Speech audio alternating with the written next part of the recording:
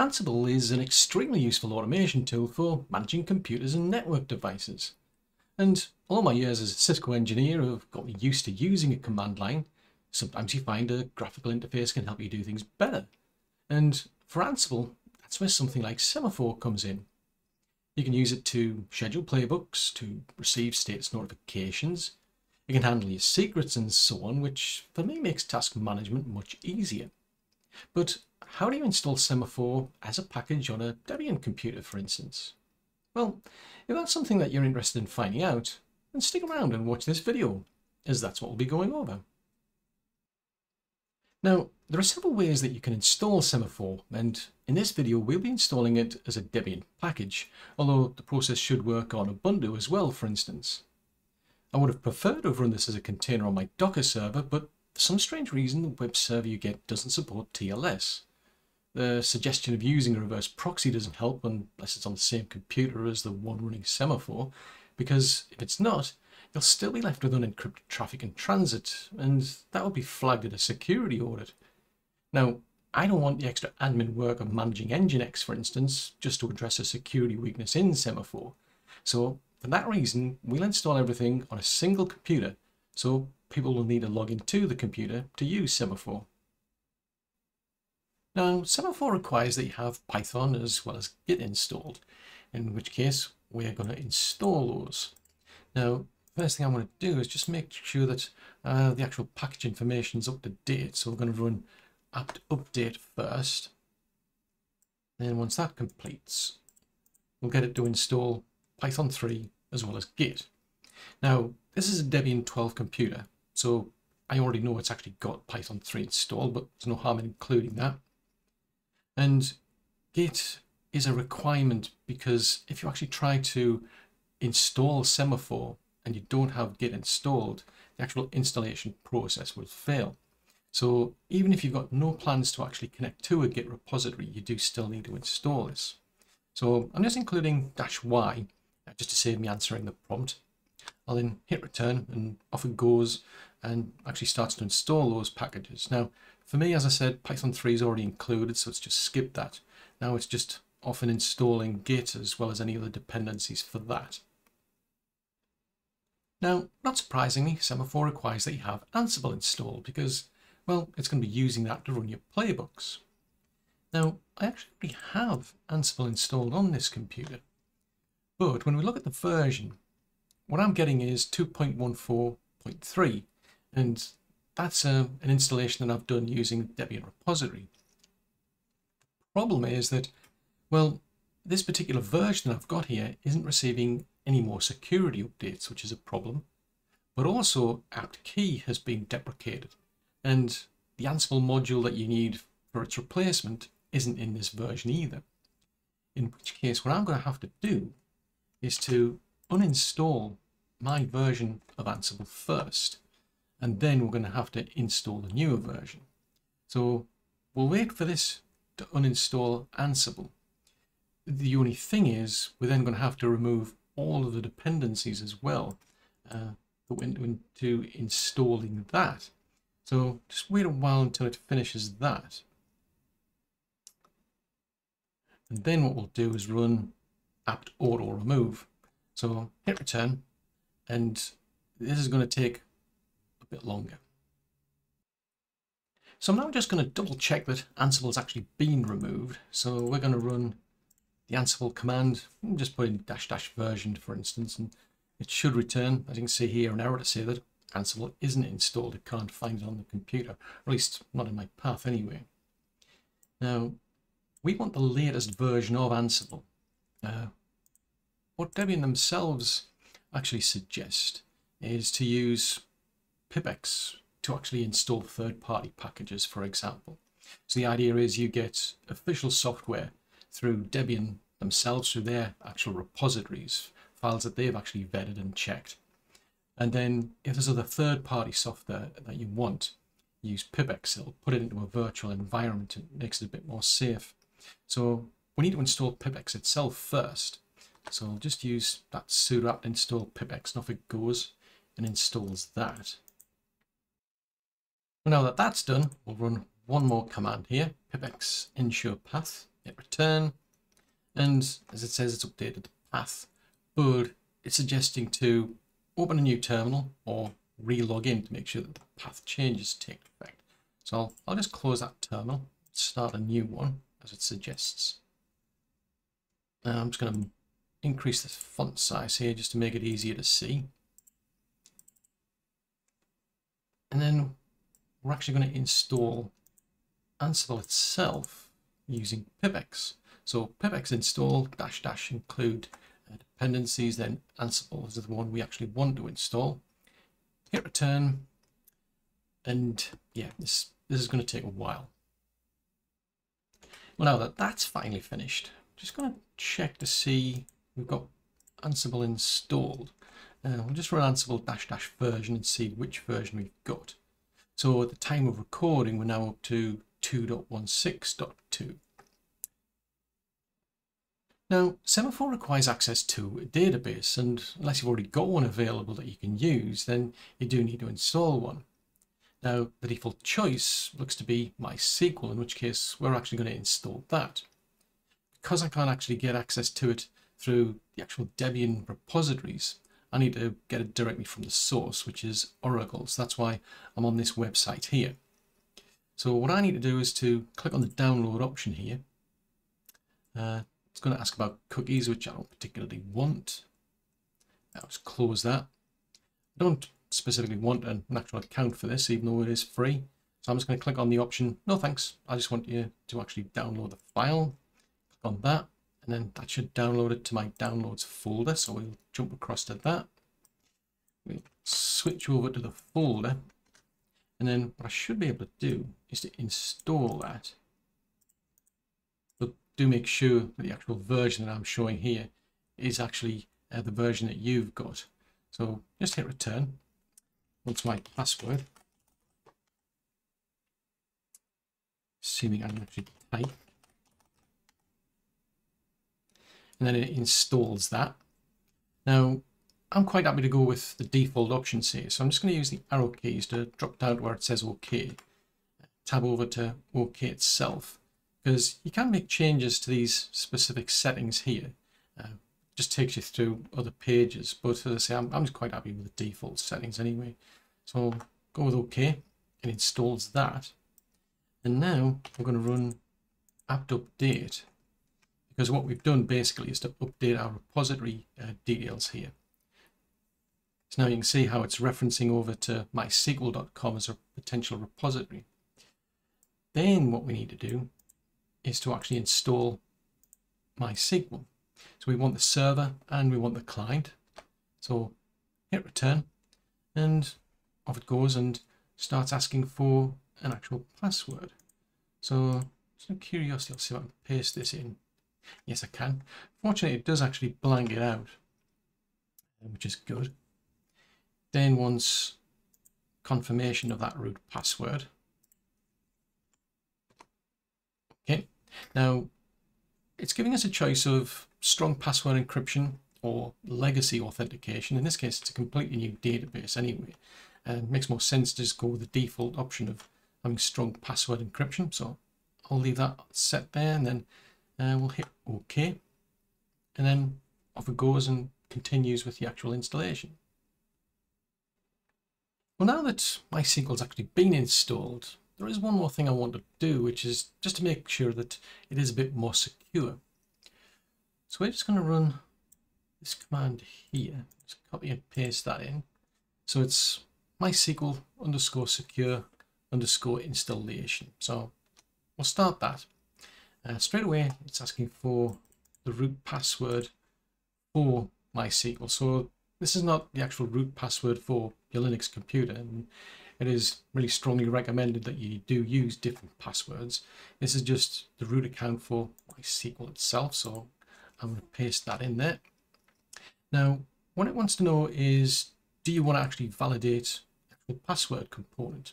So I think that's a good idea. Um, make sure that passwords are strong enough. So I'm going to stick with the default. Uh, so I need to, you know, Y and then hit return. It then wants to know what do you want? Do you want low, medium, or strong passwords? Well, I'd rather uh, have strong passwords, so put an option 2. Now, it's estimating that the strength of the password I'm using for this root uh, user is only 50, so it does give you an option here to actually change it. Uh, because this is only a video, I'm just going to leave that as is and just say, uh, no, I do not want to change the actual password. Now, it's saying that it's got an anonymous user in here, which isn't really a good idea. I mean, something that might go into, say, like a test environment or something, but I don't particularly want that. So, yes, I do want to actually remove that anonymous user. So, we'll select the option uh, yes. Then it's saying that normally only the root should be able to get in through a, a local connection as opposed to via the network. That does make a lot of sense. So yes, I do want to disable the ability of the root login. It's also got a test database and well, we don't need access to that. There's no point keeping it. So we'll say yes to remove that. And now I just want to know, well, all of these uh, questions have been answered. So do you want to actually reload the actual privileges table for this to take effect? So I'll say yes. And that's it. That's should have made it a bit more secure. Now what I'm then going to do is just double check that MySQL is actually running. So I'll use systemctl and then status just to check the status of our MySQL database. And there you go, it's, it is active and it's running. So don't seem to have a problem with MySQL. So that should be now ready to use. Now the next thing to do is to create a database for Semaphore. So what I want to do is to actually log into this database server as the root. And then I'm just going to copy and paste in my super secret password. And then that gives me access to MySQL. Then tell it to create a database. Now, I'm going to call this one Semaphore, but you can name it something else if you like. And you don't necessarily have to put uh, the actual instructions in uppercase, but I like to make things stand out a bit here. So hit return, that gets us our database. Then what we're going to do is to create an actual user account because it's not a good idea to have people logging in as the actual root user and uh, making changes. It's better that applications and users have their own individual user accounts so you've got accountability. So telling it to create a user. Now I'm calling this semaphore, but probably makes sense to use something less obvious. And this is all on one single computer, so I'm referencing the domain as just being local host. If it had been, say, like a centralized um, database server, would have made more sense to actually include the actual domain name. And then I'm putting in a super secret password. Return, oh dear, it doesn't meet the actual security requirements, and that's because of the settings we put in earlier. So I'm going to make a slight tweak to that password just so that we can get past the requirements. But again, I would suggest using something uh, much stronger and more complicated than that. Hit return, and that gets us our user account. Now, the next thing we need to do is to actually give this user account access to the actual database that we created called Semaphore. And then that's it. What I'm going to do is then just exit out of MySQL as the actual root user then this time what we're going to do is just check things by logging in as this actual semaphore user. Uh, put in the password for that. And then just see that we've actually can see something. I'm going to get it to actually just show the databases as an example. And you can see these are the databases it can see, which includes that actual semaphore database that we set up. So as far as I can tell, we should be good to go. We've got our database user that we can uh, tell Semaphore about, and we've got our database. Now we can install Semaphore as a package, but before we do that, it's best to check what the latest version is. So over on this web page here, uh, we've got details here telling us how to actually install uh, Semaphore as a package for Debian or, or Ubuntu. And although I could click on this option to copy to clipboard, it's going to copy everything in one go. But at least we can tell here that we're on 2.8.75 for at least at the time of the recording. So what I'm going to do is go back to the terminal. And then I'm just going to use wget to actually download that actual file. And then we're going to install that package. So I'll just copy and paste the command in for that. Hit return. And it wants my password here to do that. And off it goes and install Semaphore. Now, one of the really appealing things about Semaphore is that you can schedule tasks. In other words, run your playbooks at certain times of the day. Now, in order to do that, we'll be running Semaphore as a service, but it's not a good idea to be running this using the root account or indeed any privileged account, in which case we're actually going to create a new user. So I'll just copy and paste in the command. Now, I'm going to set the home folder to be slash opt slash semaphore because we'll be using this for other purposes. And I want to make sure that we're using bash as the shell. Now, I'm actually calling the user account semaphore, but I would really suggest using something a lot less obvious than that, but I just want to keep things simple here. So off it'll go and creates that, sets up the home folder. And then what I'll need to do is just at least give this a password. So now it wants a password to use. So I'm going to give this one something slightly different because I don't want this to be the same password that we use for the actual database. So I'll just confirm that again. And there we go. We've now got our user account created, uh, plus the actual password for it. I'm going to change the actual permissions for that actual folder because I don't want anybody being able to get access to it. Um, because there's going to be sensitive information in there because it's not just a simple home folder where we're keeping a config file. There's other information going to go in there. So I'm going to restrict access. While we're here, we're also going to create a group. Now, I'm going to call this Ansible group because the idea is I want users on this computer plus Semaphore to get access to the Ansible files and they're going to be stored in a folder. So while I'm here, I'm just going to actually create a new group. Now I've called it Ansible group. I would suggest using something less obvious than that, to be honest. But once that group's created, I'm then going to add the users. So for now, that is going to be myself plus that semaphore user. Now, the dash M option is something you need to be careful of because we're really just telling it to add David and semaphore to this group called Ansible group. Now, I'm going to hit return. It's going to do that. But what this is actually going to do is basically reset the list of users as well. So it's something you need to be careful of. So if I need to add a new user to that group, well, if I use the dash M option, I have to include both of these existing users at the same time. So I'll have to declare all of the users as part of using that dash M parameter. So it's just something to bear in mind. Anyway, we've now got our actual user account set up for Semaphore plus an actual group that we can use to give Semaphore access to uh, the actual Ansible files. Now, Semaphore is going to require a configuration file to run, and although you could download an example from the website and then edit it, what we're going to do is to actually generate our own config file.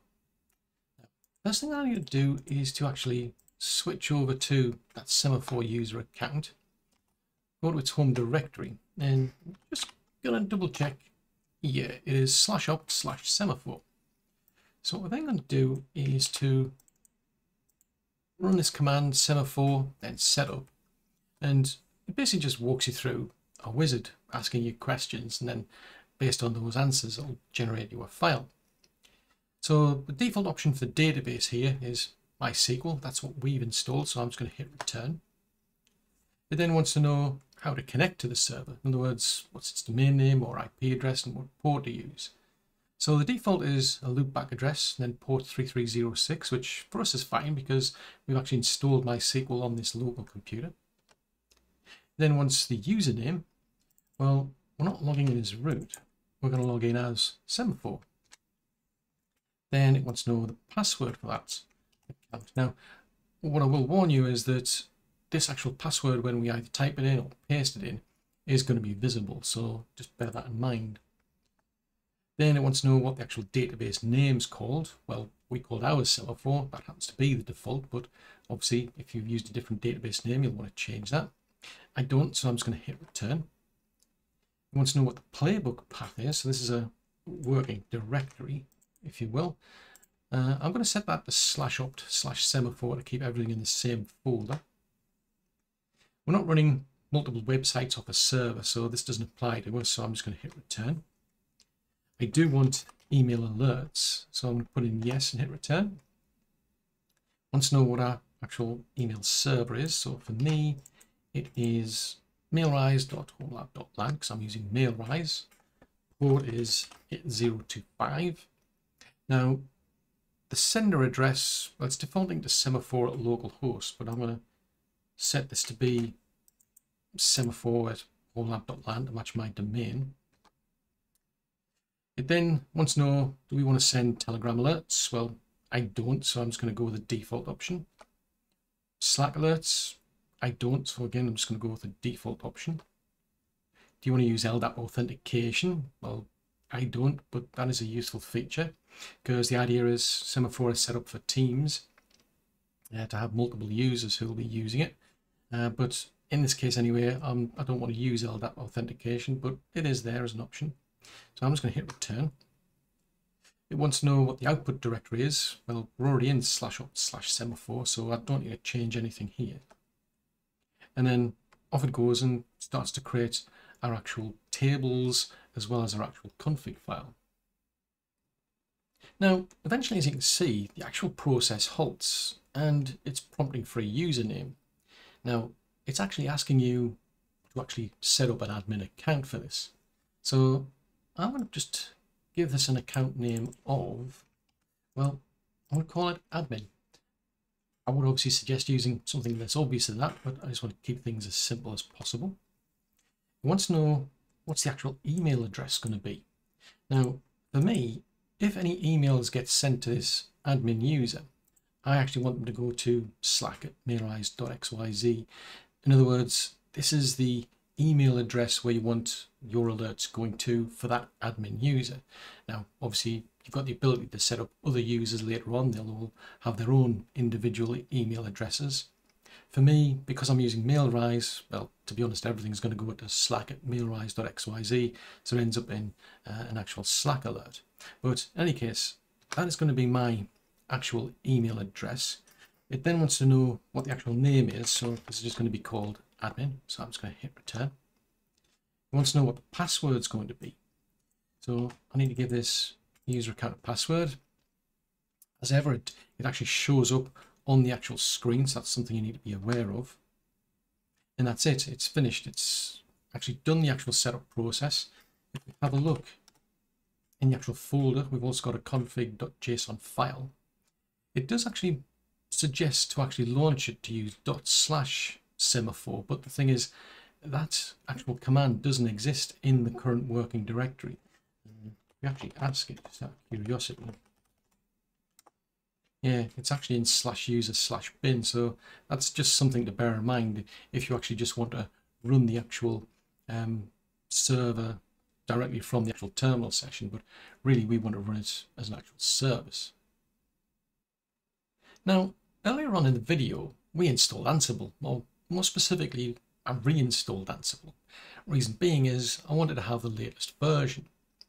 Now, the only thing is, I you'll see here in a minute, if I actually ask what the version of Ansible is while logged in as this semaphore user, it's coming back with an error message saying that the command can't be found.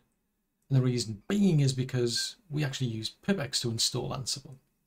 In which case, I need to install Ansible for this actual semaphore user to be able to use. I mean, the reason I installed it for my account is because there are going to be times where I want to do my own testing with Independently of Semaphore, in which case both actual user accounts here need access to it. So first thing I'm going to do is run ensure path, just to make sure that we've got everything set up properly. Uh, as it suggests, we need to get out of this basically this terminal session, suggesting you can log out and log back in and so on. But I'm just going to exit out as the user rather than actually exiting out completely because that's enough because it, it means we're uh, no longer log, uh, logged in as that user. But then what I could do is log back in again, or rather switch over to that user account. I need to put my password in be able to do that. Switch the home folder. Check. Again, I'm a bit paranoid. Just double check. Yeah, so it's pointing at the moment to slash opt slash semaphore slash dot local slash bin here, which is what we want. Then what we've got to do is go back through that process of installing Ansible again uh, using pipx. And yeah, it's going to take a while. Well, this is eventually finished.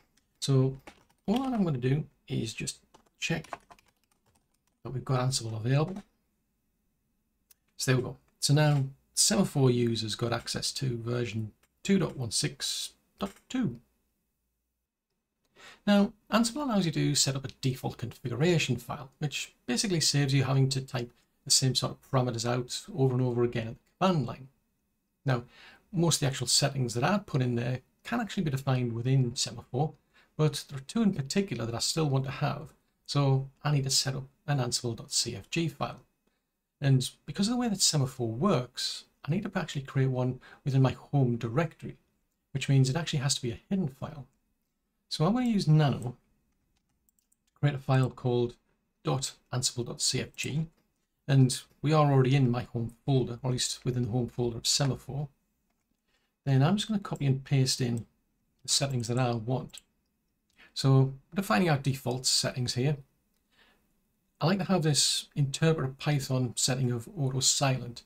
Basically, it's just you get warnings if it runs into problems with uh, the actual Python interpreter it finds. So I like to suppress those. Also, when you log into a computer for the first time using SSH, you'll actually get prompted if you want to accept the fingerprint. Now, that's not practical when it comes to automation with something like Ansible, in which case I've got this host underscore key underscore checking uh, setting here, which is set to false. So I'll save that.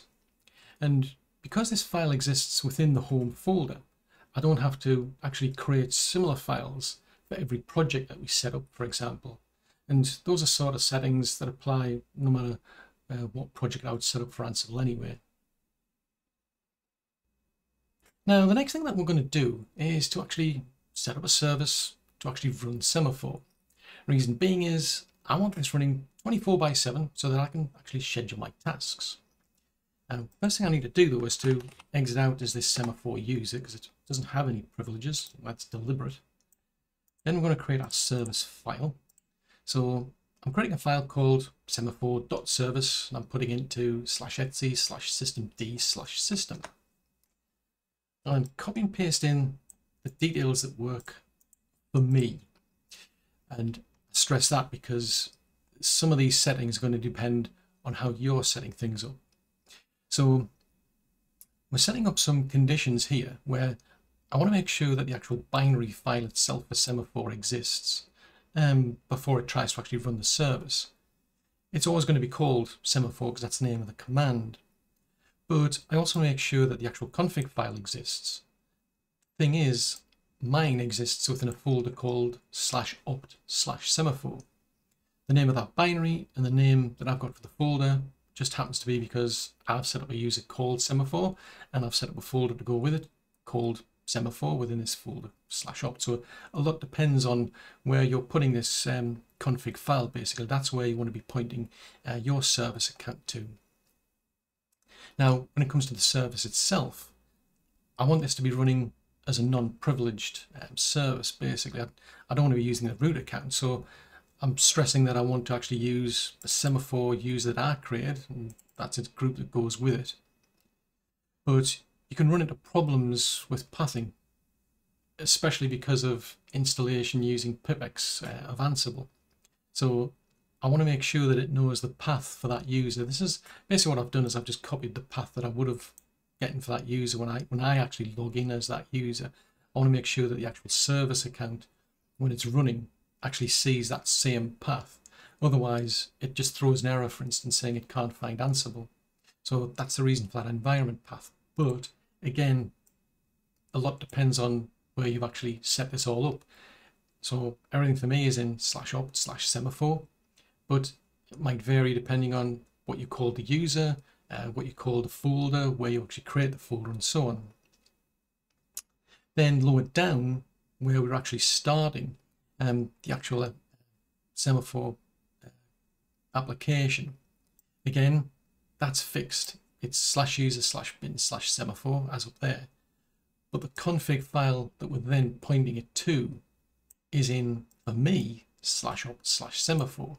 So up here, we're just checking to make sure these things exist. Down here, we're actually making use of them. So do make sure that aligns with you know, how you set this all up. And then finally, I've just got an, identifier for syslog of semaphore.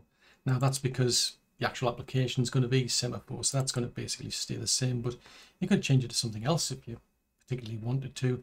I'm just keeping it simple, I'm just calling it semaphore. So that defines the actual file. So we'll exit out of that. Now, next thing to do is, well, we've actually changed something here as far as systemd goes, so we need to make an update. So we're running systemctl and uh, daemon reload. I want to make sure that this service will always start when the computer boots up. And then we're going to actually start it. See if it throws any error messages. No, hasn't complained. But all the same, I'm just going to check the status. There you go. It looks as though so far things seem to be working. So I can tell, Semaphore is now up and running. Now, in order to connect and start managing things in Semaphore, what we have to do is point our actual web browser here to the web server that we get. So for me, this is going to be http colon slash slash localhost and then port 3000 there. Now, I'm using localhost because this is installed on the actual computer itself. We're using HTTP because, well, HTTPS isn't actually supported. They do not give you a secure web server for some strange reason. I mean, you can actually try to use HTTPS as, interestingly enough, their documentation suggests. Hit return and, no, doesn't work. Doesn't even give me an option to say, well, just accept the private certificate. It just doesn't work. Um, I do find that odd because if you go through the documentation, they'll say you can only use HTTP for the Docker version. They don't specifically say anything about being able to get HTTPS with this packaged version, yet oddly enough, the URL that they give you has HTTPS, or at least it did at the last time I checked. But the only way to connect is through this unsecure process of using HTTP. So we'll do that. Then what it does, it comes up with the login prompt. So when we ran the setup, I created a user called admin. Now I need to put in my super secret password. Uh, click on sign in. So it's now logged in. And the first thing it wants us to do is to create a new project. The reason being is that's the way Semaphore works. It expects you to be doing everything within projects, which makes a lot of sense uh, for teams, to be honest. So what I'm going to do is I'm going to create a new project and I'm going to call it video. I'll click on create. And that's it. We've now got access to a project and all these other things that we can do. Although one tip I'll give you is down here, we've got an option for dark mode. That makes a lot more sense.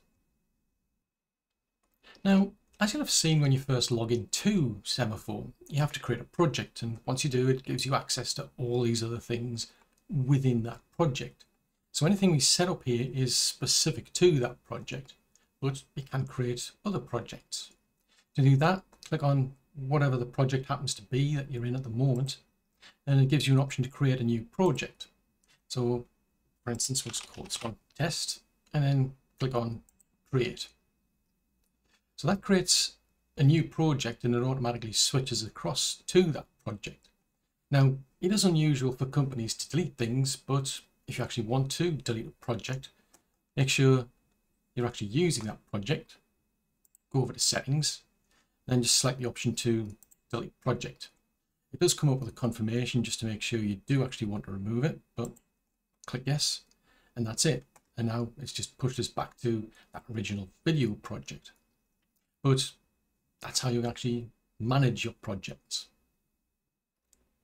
Now, usually for Ansible to be able to gain access to an IT device on your network, it'll have to actually authenticate. And when it comes to Semaphore here, that's where the key store comes into play. So if we click on key store, we've got an option here to create new keys. And one thing I'll stress is that there's various sections within this project where you need to provide credentials, but you, can't just type them in. You've actually got to reference a key within this key store. So that's something to bear in mind. It's best to set up all your keys first before you go any further. In any case, for us, we're using Ansible to actually log into computers using SSH. So we actually need to use SSH key authentication. So we'll click on new key, give the key an actual name here that we can reference it by. And then for the type, select SSH key. We can tell it what the user account is here. And then you would copy and paste in the private key. And that's stress the private key, not the public key, the private key. The only thing is, well, all of this information is visible. And although this is a video and just a lab, I don't want to keep going through the process of recreating keys every time I do a video, in which case I'll set this one up off camera. Now, what you do next really depends on how you've got this set up, because there's another option which is login with password. So you provide uh, an actual login name plus a password. Again, that information is visible, so do bear that in mind if anybody is walking by and look over your shoulder. But this would also be useful not just for a system where you do log in with a username and password, but also if your Ansible user account has to provide a password to get sudo rights, for instance, you'd have to set up another key to be able to do that. Now, in my case, the account can actually log in using SSH key authentication, but it doesn't have to provide a password uh, to get sudo rights, so I don't need to provide another key for Ansible itself to do that. However, what I do need to do is to set up another key, which I'm going to call anonymous and I'm going to set that type to none, hence anonymous. Now, as it suggests here, they're talking about, you know, maybe you're going to log into a repository or a web server or something to download something, and there's no need for um, any user authentication. In my case, I'm going to have the actual Ansible files stored on the computer, and the Semaphore user account that's running Semaphore itself as a service will already have rights to those. I'll be setting those up later on.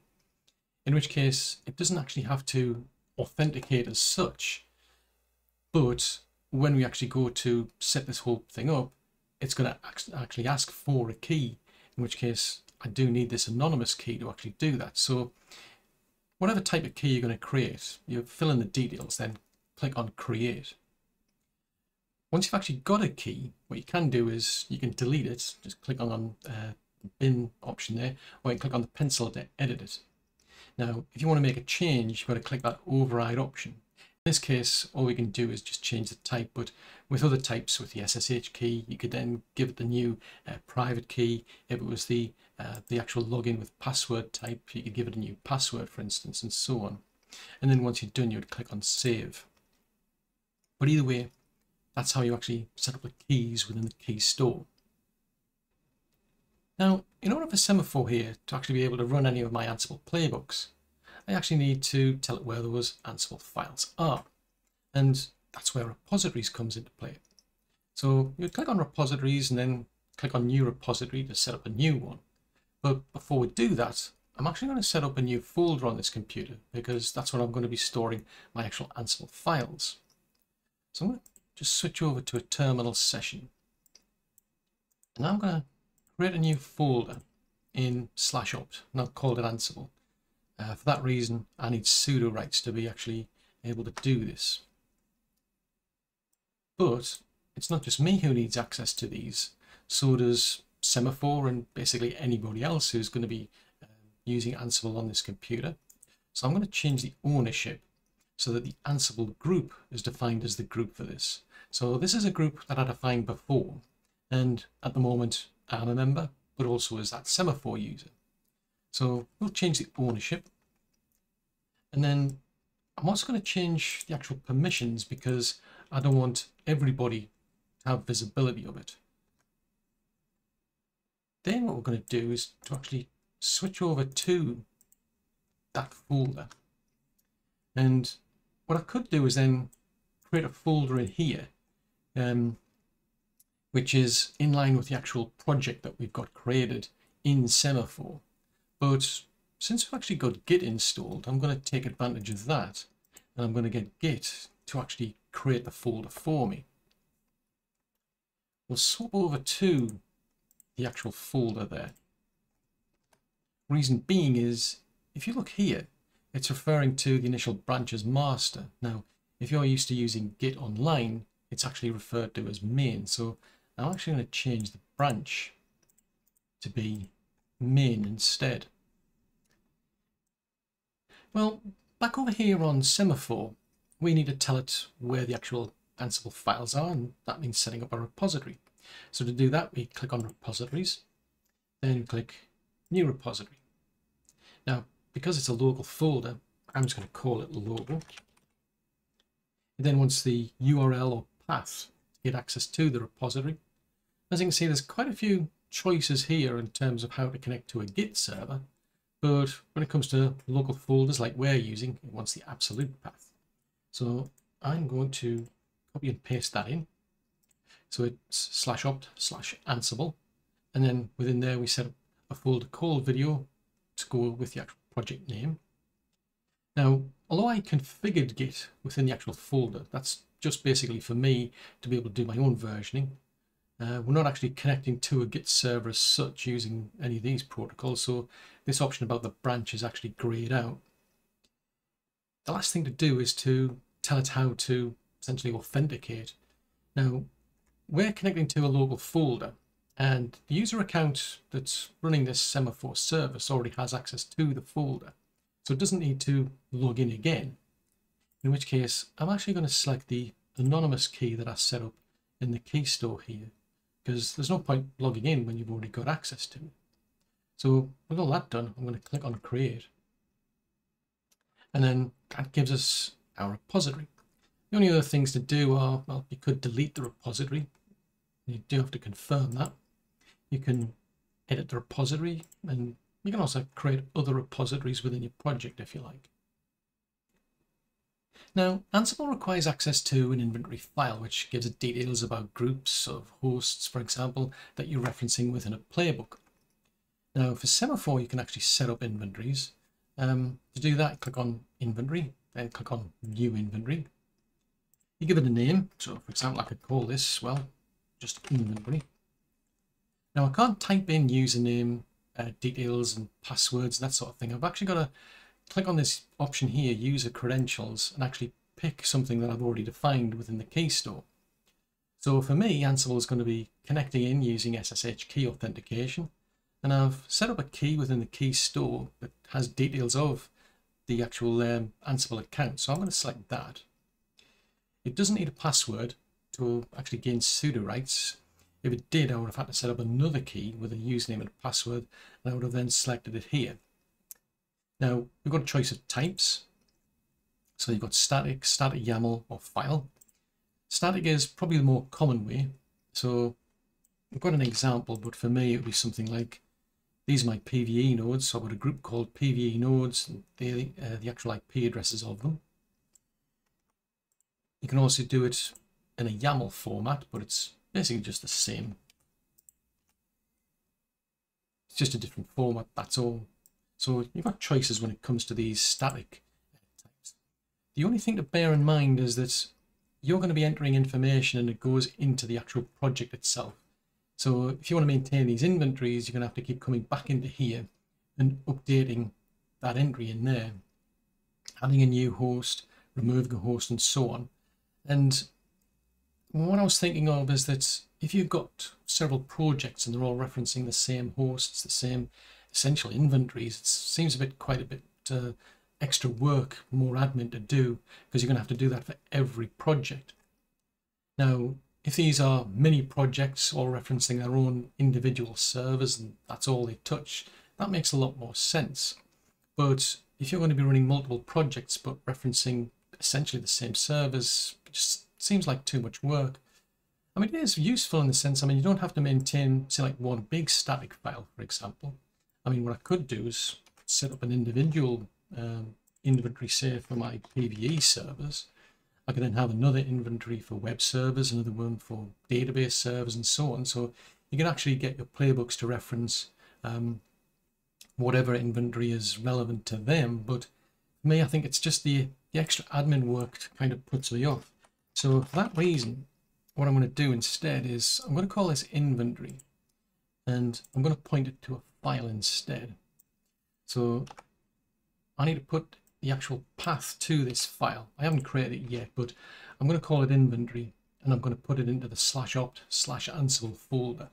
Reason being is for me, I might have multiple projects going, but they're all going to reference that same inventory file. So I just need to maintain one specific inventory file right across the board. So it makes more sense to put it into the parent folder.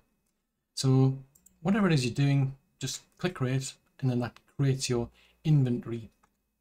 Now one thing to point out is another good thing about the file option is that it doesn't actually just pull all that information in once you create it. It just keeps referencing back to the file. So all I have to do is just keep maintaining that actual file itself and Semaphore will be up to date. But obviously it's no use without an actual file. So I'm going to create that file. Uh, I'm just going to use nano to do it. So I'll get it to create this file called inventory in slash opt slash ansible. Note, I haven't had to use sudo rights to do this because, well, I've already given myself rights to this folder anyway. Anybody in that Ansible group as well is going to have access to it. But I now need to copy and paste in the details. And then that gives us an inventory. Now, Ansible can take advantage of variables. And for Semaphore here, what you can do is click on Environment and then click New Environment. And you've got choices for extra variables and environment variables. And they do even give you an example in JSON format there. Now, personally, I've got no particular plans to um, set up variables this way. I'm quite happy to just set up the actual files themselves. But even if you don't want to use this, the way this is all set up, you still have to have at least an environment uh, set up that can actually be referenced.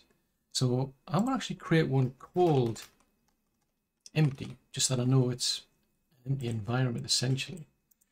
And what I'm going to do is to copy and paste in some curly brackets similar to those. There's just nothing in them. But as I said, you, have got to have at least an environment uh, to reference. So this one doesn't really do anything, but at least it's defined. So I'm going to click on save and that gives me an environment. Now, as we'll go over later, you run your playbooks as tasks, but what you can actually do is to set up views for them. So do that, if you go over to task templates. By default, all you've got is this tab here called all, but you can actually set up views here. So if I click on the pencil, it's saying at the moment there are no views, but if I click add a view, I can create a new one, and I'll call that test one, you know I can spell, and then click that tick box there, add another one, call that one test two, and click that one, uh, test three, and so on. If I now close the actual dialog box here, you can see we've got actual tabs. So this is quite useful if you want to actually filter um, tasks out because you can actually assign them to views. But if you actually want to remove these, what you can do is click on the pencil button again, and then just click uh, the cross next to them to actually delete them, and then it removes them. So that does have potential there, if, as I say, if you want to actually filter uh, your actual tasks out.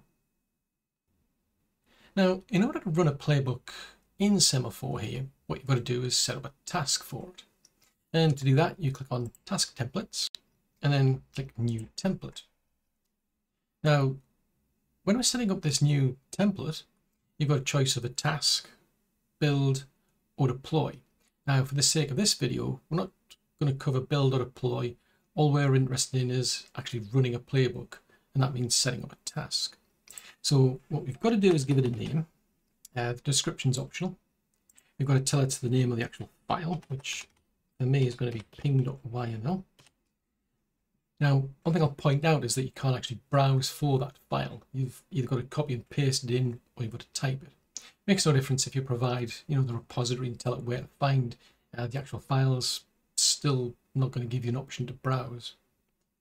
Then what you have to do is provide the inventory, which we created in the inventory section, repository, which we created in the repository section, and the environment, which we created in the environment section.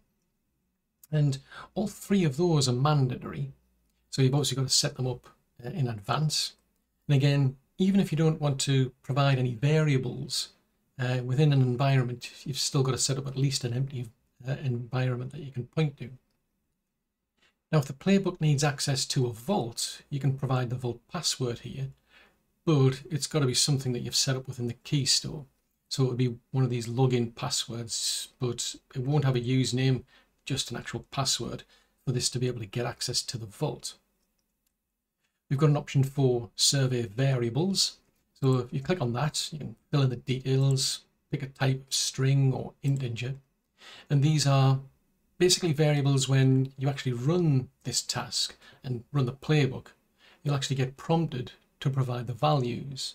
Now, that's no good if you're running these at uh, a scheduled time of the day because, well, you would need interaction, but the option's there if you want to use it.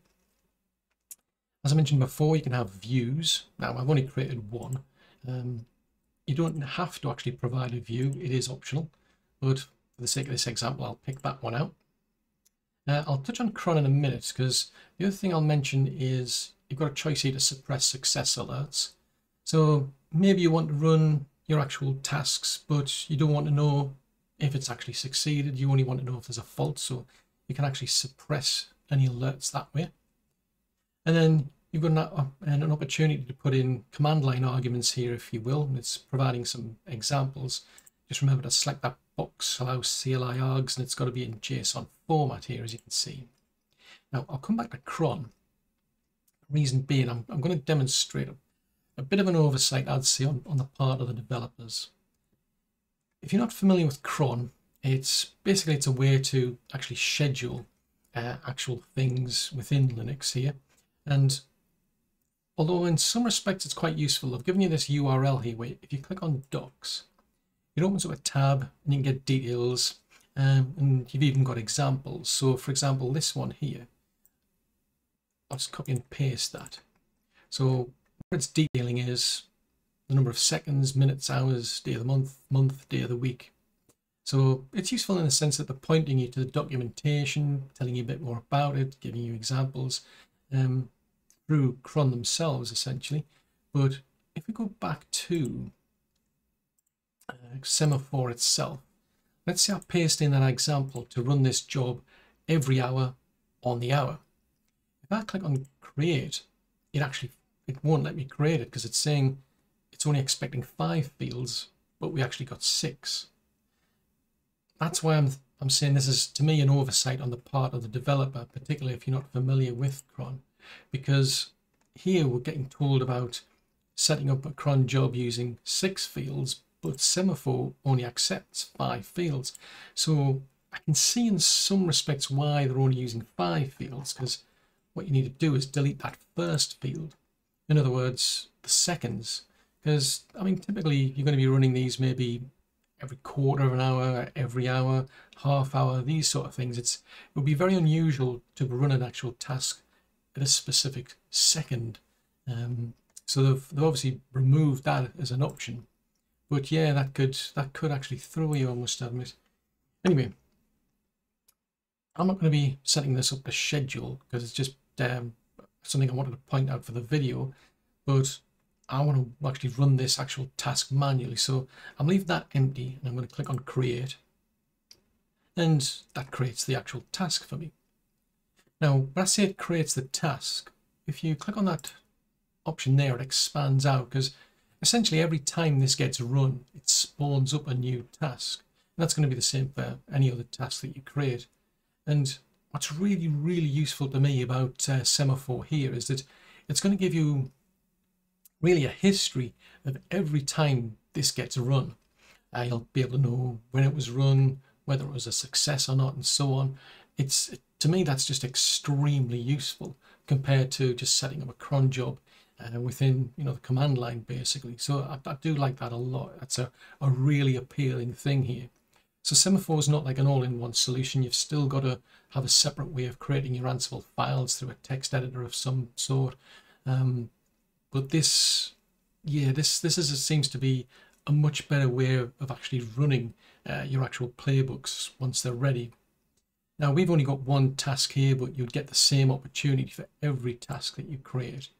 Um, very useful that you've, got this option to actually run it um, directly from this view here. I mean, actually, if I go over here, you can see we've got, uh, this is a view called test one. If I create a new one called test two again, select that one, we don't see anything about that ta uh, task because it, it only belongs within view one. So it's, it's a good way to filter things out. But I do like this. You'd end up with a lot of actual tasks and you can run any of them individually directly from that line. So that's very, very useful. Now, We've got some information about each individual task as well, its status, which version we're on to in terms of how many times it's been run. But if you actually click on the name of the task, you then you're into the details of the actual task itself. So you'll just get the, the details, the history of that one task in this uh, pane of view here, which is very useful. Again, we get information about the task up here. We can run it again. You can delete it and I do like that, that uh, option there where you've got to confirm it. You can actually copy it, which is quite useful. Um, but if you want to edit it, you click on the pencil. Then you can make changes to it. So that's that's very useful. That gives you that high level view for all of your tasks, but then you can you know drill down into each individual task. And you'll get similar sort of things on the history of tasks run um, within the dashboard as well. But obviously, I've actually set up a task here, but I don't actually have a playbook, so I'm just going to have to do that next. So I'm going to keep this simple. What I'm going to do is just create that very file we've referenced. And it's not really going to do anything. It's just going to log into all of the actual computers. Hence why I called it ping. So it's just a ping test as such, but it does actually log in. So that then sets up that task. Now, Semaphore here is really aimed at multiple users. In other words, the idea is you'll have a team of users working on your Ansible projects. Now, at the moment, all we've done is to create an admin user. that was as part of the actual uh, setup of Semaphore itself. But it's not really good for individual users to log in as the admin because there's no accountability. And it makes a lot of sense as to why they've picked LDAP as well because of this um, support for teams but because of the way we've actually got this set up, we've got an admin user and we're going to be using local authentication. So we're going to have to set up individual accounts for each individual user. So to set up accounts, we're going to click on admin, then click users, then we'll click on new user. Then we can fill in the details for the user. So I'm using Mailrise so really everything has an email address of slack at mailrise.xyz for me. So I'll put in a password, which incidentally does actually get obscured here. I know when you're setting up the keys, that information doesn't get obscured. So I don't know why they haven't done it across the board.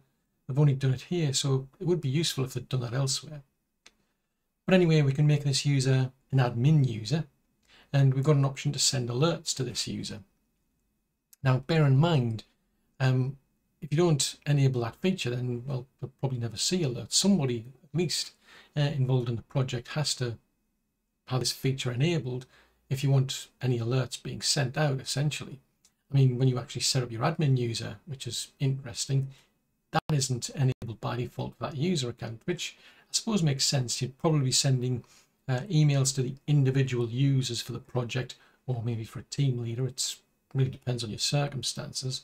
But that's something I want to point out. Make sure that if you do want to receive alerts, make sure somebody who's working on this actually has send alerts enabled. Now, what you're going to find is when I click on save, yeah, I get an error message. Request failed, status code 400. Now, that's not very specific. Um, I was scratching my head for a long time.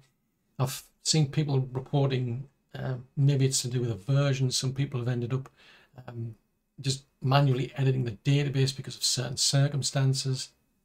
For me, what I've found out eventually, because I've got two computers, I've got a live system and I've got a lab system. And it's a case of, ah, it took a while before the penny eventually dropped. The reason I'm getting this problem is because I've got two users with the same email address. They're both exactly the same and the system will not accept that. So I've got to change this to something else. Now, in a normal sort of like team network, everybody would have their own individual email addresses. Um, this is probably just because I'm using uh, MailRise. The idea is that all of the computer systems send an email message to MailRise, which in turn will then send an alert out to some service. Uh, I'm using Slack, so that's always going to be the email address regardless. But now that I've changed the email address, click on save, and here voila, that's done. So it's it's interesting. It's not very specific uh, to point it out. So yeah, it took me a while to figure that out, but that that is the cause of my problem. But at least it's now solved and I've got two users. Now it's quite useful because you can sort on individual columns. The external by the way, is to do with if these like LDAP users, for example, which in my case they're not. Uh, these are local accounts, that's why none of them are enabled. From what I can see here, I can't actually enable things, make changes to individual accounts at this level. I'd have to actually go into that user account and make changes that way. Uh, there is an option to delete a user if you wanted to. If I click on delete, you get the confirmation. One thing I'll point out though is this admin user. At the moment, I've got a project up and running. I've got an admin user, which is basically the super user essentially. And this is my only admin user. If I take away the rights from this account and make a save, I'm not going to get any warning at all. And this is going to just open up a whole heap of problems. It doesn't ask me to confirm it. In other words, it's not checking to see is this the last user with admin rights? It just says, yeah, okay. And the problem then is it's broke at that point because there is no admin left to make administrative changes. And that just cause you a whole heap of problems. Now, if you're familiar with MySQL, as in the database we're using here, or whatever SQL, uh, whatever database you're using, you can actually make changes within the database itself because it's that's all this is. It's just saving information and each user account will have uh, an actual column in there to say whether it's got admin rights. So you could fix it that way, but do bear that in mind. If you ever decide to take admin right, uh, rights away from a user, really you need to make sure that at least somebody else on the system has admin rights. Otherwise, it, it, as I say, it just breaks. Anyway, it's relatively easy to set up users, although it's not that to me, it's not that blatantly obvious that the fact that you've got to click on the actual user account to then do it. I mean, it gives me an, opportunity to edit my own account because that, that's the user I'm logged in as, um, for example. But yeah, that's not so obvious. There's no nowhere else I'm seeing to set up users as such because as I'll point out in a minute, there is a team, but you can't add, add people to the team unless you've actually created them as an actual user account, for example. So yeah, it's a bit an odd way I would have thought. It might have been easier if they'd created a separate little section for users that way, but that's how you create users. Now, as I mentioned before, Semaphore here supports multiple users, but whether you're connecting this up to an LDAP server or creating local user accounts like I did before, these users don't actually have access to anything unless you make them a member of the team for an actual project. So we've got one project here, which I've called video. And to add a user to the actual team, you click on team. Then you click on new team member. And then from there, you just click on the drop down box and it goes through the list of whatever you've got in terms of users. And then you can pick that user to be added to it. You can make the user an administrator if you like, but in any case, once you've made your choice, click link, and it adds that user to the actual team. Now, the thing to point out is that we've got administrative users, go back to users. So these are admin users for Semaphore. But when it comes to team members, you'll actually be an administrator of the actual uh, project, if you will. So I could make this user an administrator of the project, but they're not necessarily an administrator of Semaphore here, as you can see. Likewise, just because you're an administrator of Semaphore, you're not necessarily an administrator of a project. So we'll just come back to here. Now, this is something I want to point out because it's similar to uh, what I was mentioning before about users and admin rights. You've got to be very, very careful when it comes to admin rights. If I take away admin rights, there's no warning here. If I were to take away their admin rights, I could run into similar sort of problems where nobody can actually manage the project as such. So you've got to be very, very careful when you're taking any rights away. I mean, I can't edit this user. To be fair, there's there's not really a great deal to do because you just picked it um, from the list of known users anyway. Any changes are really only involving admin rights. But if you don't particularly want that user uh, as part of the team anymore, you can just delete them. Uh, at least that uh, prompts you for a confirmation to actually remove the user from the project. It doesn't remove the user account itself. The user is still a, a local account, which in some ways might make some sense as to why you don't just see a users section here because it's not users that are specific to the project. When you're creating users, there are, you know, these are users eh, from the perspective of Semaphore as a whole, whereas I suppose a team is specific to that actual project. So relatively simple to set up, but you do have to be very, very careful when it comes to this admin rights. Now, one area in Semaphore which I think could do with a bit more attention is when it comes to actual alerts. And that's because by default you don't actually receive any. Now, to me, alerts are extremely important. I want to know if the task has failed or actually succeeded, but by default it's not going to happen. And there are quite a few hoops here you've got to actually jump through. And to some extent I kind of get it. I mean, there's a lot of flexibility here, but yeah, it's just there's just too many hoops involved. I think it could be simplified. So in my case, I actually prefer to get my alerts through emails. And although we went through an actual setup process, it's not enough. We're going to have to manually edit the config file to finish this off. So what I need to do is to edit this config.json file for Semaphore, which is why I'm logged in as the Semaphore user here, because I've got it in the actual home folder, because this user account is actually running Semaphore as a service. Now, if we go down to here, there's two lines I'm going to have to update. One's going to be the username and the other is going to be the password to get access to the email server. Now, most servers, I'd imagine, do require authentication, but we weren't asked, you know, to do that as part of the setup process for some reason. Another thing to consider is that down here we've got another line, which is email secure, and by default it's set to false. Now, when you're going to connect to an email server and provide credentials, you don't want that going in clear text, so you'd really want that set true. So in my case, the way I've got MailRise set up, um, I'm going to have to provide a username and password to get access to it, and I'm going to have to set that to true to actually be able to then send my emails. Now, once you've done that, and for those changes to take effect, you would have to actually reboot the service incidentally. Um, there are other things still left to do. So we've got a, an actual project here, uh, which I've called video. But if you create a new project, you'll notice that by default, alerts are not actually enabled for the project. So every time you create a project, you're going to have to remember to select that option to receive alerts. Maybe in the case of the developers who do this, they don't particularly want alerts or something. I don't know, but for whatever reason, by default, it's not enabled. If you've already got an actual project like I have here, you can go to settings and if you forgot to enable it, at least you can tick the box and then click save. But that's not enough.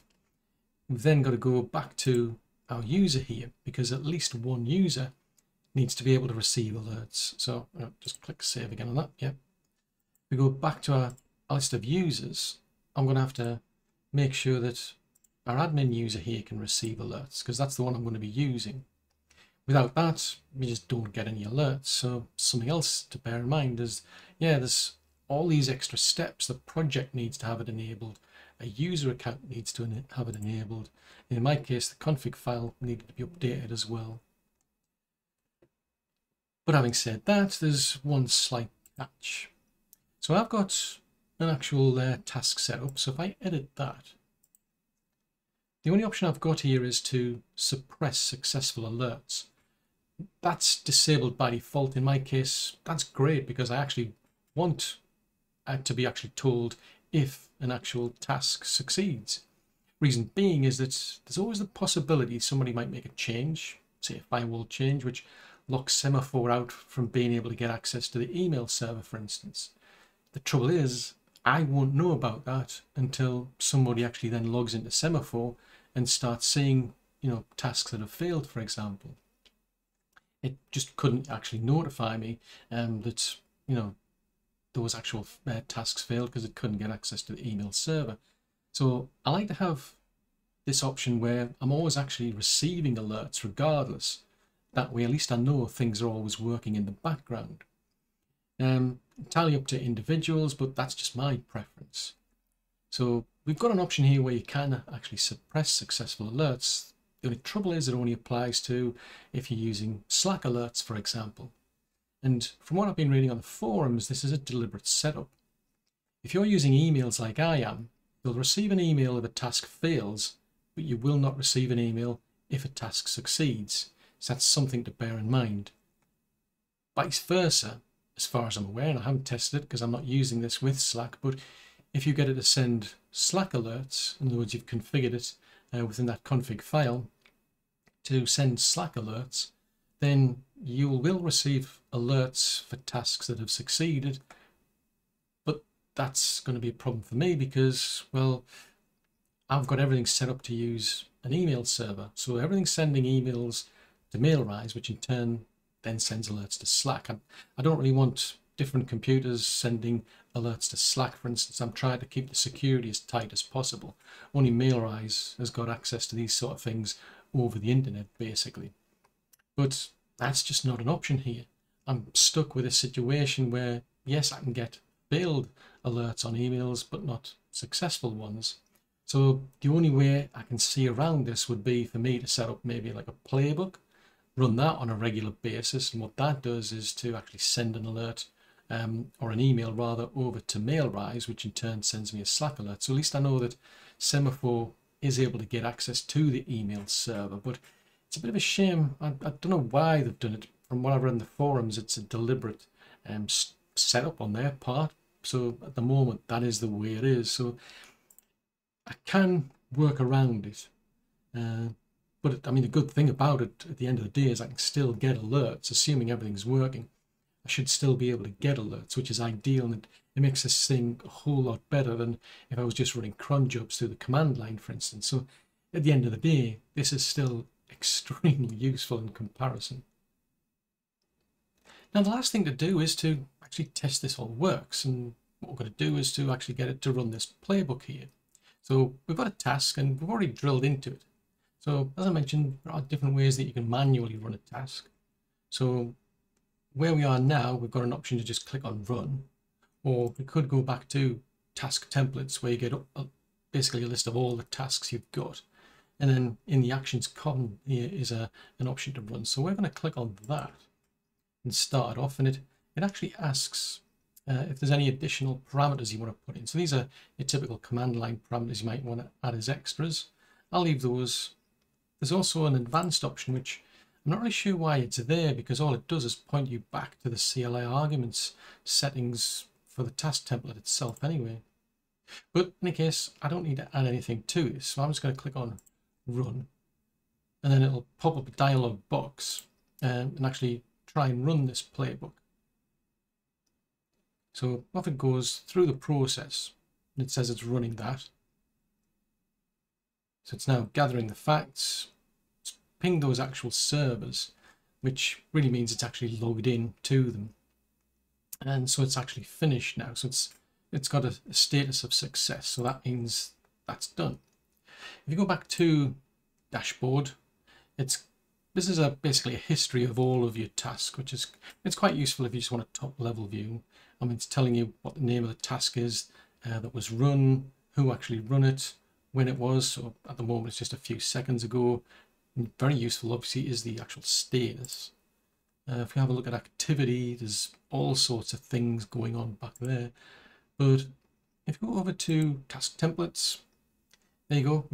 It's showing you that we've got an actual number against this task. So if I expand this out, you can see we've now got a, an entry for that. And now we've actually got an option to rerun it. Now, to be honest, I'm not quite sure of the benefit of that because it still spins up another task as such. So we've got this task. I don't know. It's kind of a bit confusing, I find, because we've got this concept of task templates. I would have thought that was the task template in itself because it then creates all these tasks. But if I click rerun here, it doesn't literally rerun task number one here that's been defined for this um, ping task we're running. We get another task spawned anyway. So it doesn't seem, to me at least, to make any difference whether I click that or click that. So if I click that again and click run, in this case, we haven't made any changes, so we'd expect the same result anyway. We'll just go back through the process of um, connecting to that playbook and then try to run it using Ansible. Uh, the servers certainly are still up, so results the same. So you see we've now got um, task number two. It's not actually showing it at the moment. If I compress that and try to expand it, now it shows up. So it's showing it in reverse order, basically. The, um, I suppose the most recent byte at the top there. Uh, on the other hand, if I click on rerun, we're just going through exactly the same process. So as I say, I'm not, not really sure what the difference is because we've got task number three now. So it hasn't rerun task ID 2, it's just gone back through the whole process. So yeah, it's got me a bit confused, I must admit. But in any case, that one was a success. So it does not automatically uh, update itself. But if we click on the actual name of that task that we've got, now we've just got specifics about um, that one task that we've got rather than kind of an overview of all tasks. But either way, I, I really like this, to be honest, because it's, aside from the you know, security and quibbles about alerts, I mean, I've got this all now running on a single computer, so I'm pretty comfortable in that aspect of it. But it means I can schedule this to run tasks using Ansible at certain times of the day, regularly, and what it'll then do is it'll go through the process of running those tasks, or at least trying to. But then I can come back and get details, and it's keeping a record of all of the tasks that have been run, what the status was, and that, that to me is, is absolutely ideal. Um, it's that historical information as also the actual um, status of, say, the last task, for example. That's extremely useful to me. And yeah, there's, there is a quite a few sort of steps to go through to to set up, I suppose, a basic cron job, what it is, in the grand scheme of things, I suppose, but it's still extremely useful. Now, as it turns out, um, well, I've been running an older version of Semaphore for a while, and yeah, we, we actually installed this older version as part of the video. And I actually only found out about it when I ran this 400 error message, and it was a case of, well, people were talking about newer versions on the forum, and I was kind of like scratching my head because if I go to the documentation here and go through the installation instructions, it talks about version 2.8.75. So, well, I just assumed that they were keeping the examples and the documentation as a whole up to date. But if you go to the releases page up here, well, we're actually up to 2.9.41, at least as far as the betas go. Um, the latest version is actually 2.9.37 and the version that I've been using is actually over a year old. Uh, so yeah, On the plus side though, it's a case of, well, this is an opportunity to do an upgrade. Now, before we actually do that though, what I'm going to do is just scroll down here, go to page 2. Because the warning at 2.94 here to back up your database. The reason being is they're actually going to make changes to the database. And once you do that, you can't then roll back to an older version of Semaphore because it won't be compatible. I mean, basically the jump from 2.895 here to 2.94. So that's something to bear in mind. They introduced new features and it required a database update. Now, in my case, I'm running this on a virtual machine, so I've just took a snapshot. Uh, so I can just roll back if things go uh, pear-shaped, basically. But in any case, what we need is version 2.9.37. So what I'm going to do is switch over to the terminal session here. And I'm going to shut down the actual service first. Provide my password. I'm going to go over to the downloads folder because the process for upgrading is just the same as for actually installing it in the first place. So I'm going to download 2.9.37.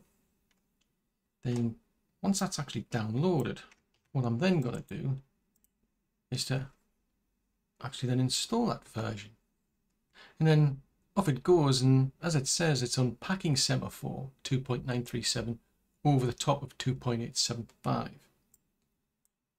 So then what I need to do is to start the service back up. It hasn't complained. But I'll check. Yep, it's active and it's running. But because I know it's going to make changes to the database, I think I'm going to leave it a bit of a while and then we'll check and see. Well, I'm back here on Semaphore and I didn't log back in. I just did a control F5. It hasn't asked me to log in. I mean, I mean, having a look around just to see if everything's working. Even run a task and yeah, seems fine. So in terms of changes, what I've noticed is that down here in the lower left, we've now got a choice of languages. By default, it's set to US English. Then next to the portrait, if you're an administrator, it actually flags that up, which can be useful, I suppose, if you're trying to make changes, for instance, and you're wondering why you can't, well, that's an easy and quick way to find out. Up here in the top corner, underneath the name of the project, it now actually tells you what your role is uh, for that project. I mean, we're logged in as admin, and admin created this project, so seen as an owner. In other words, they've introduced roles into this.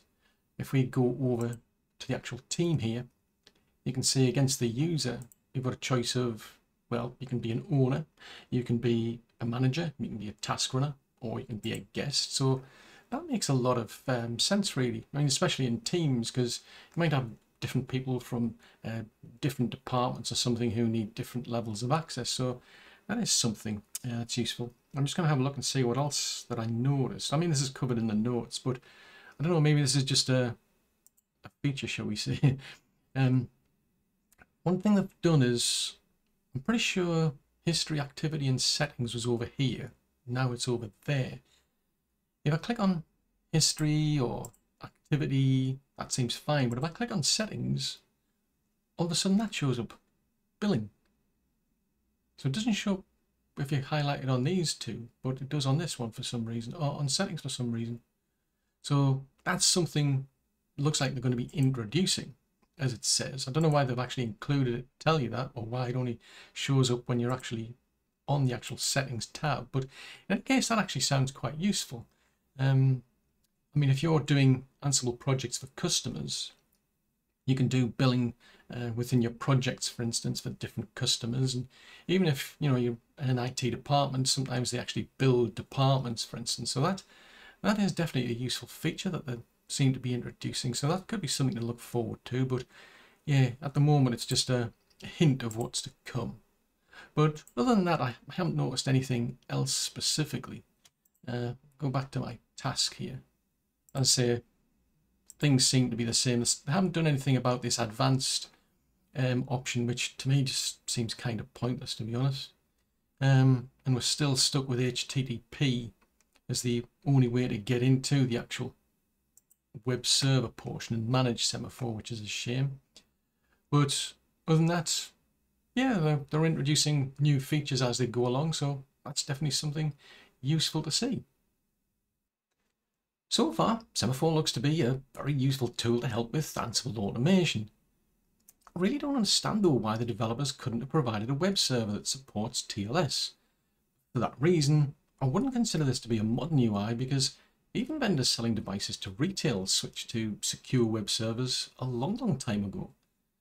I mean, I can get around the security concerns though by installing everything onto one computer and then accessing Semaphore locally rather than remotely. Bear in mind, I've seen reports in the forum about sensitive information being leaked to logs, for instance. So not only should access to the computer be heavily restricted, but any exporting of logs for analysis will have to be vetted. Documentation provided could also do with some more attention. There are a lot of hoops to jump through to set up Semaphore this way, and they're either not mentioned or explained well enough. And if you're starting out with this, it can be a bit of a struggle to know what to do, and that's why documentation is important. In the grand scheme of things, though, this is, is a very useful tool for running Ansible playbooks. Now, if you find this video to be useful, then do consider subscribing to the channel, as that would really mean a lot to me. But it's also a good indicator to let me know how videos like this are helpful to people such as yourselves that are watching. In which case, thank you. On the other hand, if you're not ready for that level of commitment, then I'd really appreciate it if you could press the like button, because that way that'll help to get the video out to other people that might find it useful as well.